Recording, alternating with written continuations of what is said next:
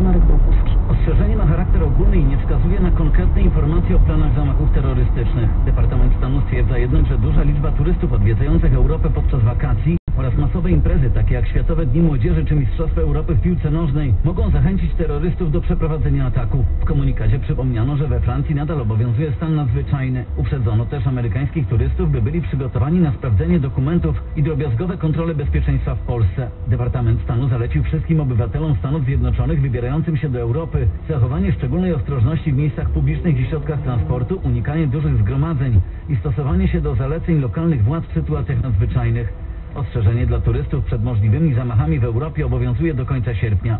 Z Waszyngtonu Marek Wałkuski, Polskie Radio. Mocno zadłużona i niedbająca o pacjentów służba zdrowia to problem, który dziedziczymy po poprzednikach. Przekonuje w trójce Prawo i Sprawiedliwość. To nieprawda odpowiada opozycja. W nowoczesnych żadna ekipa rządząca w trzeciej Rzeczpospolitej nie kierowała mądrze systemem lecznictwa. Do pielęgniarek strajkujących od ponad tygodnia w Warszawskim Centrum Zdrowia Dziecka pojechali dzisiaj minister zdrowia i jego dwóch zastępców.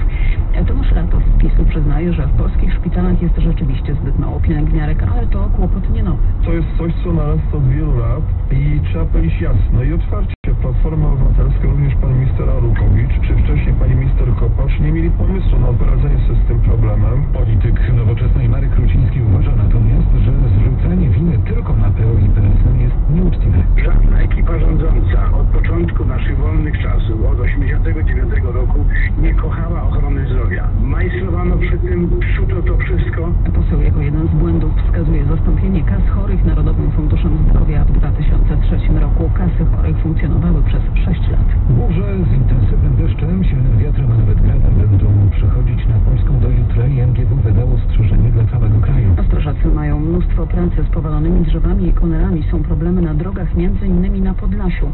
Utrudnienia przez połamane gałęzie występują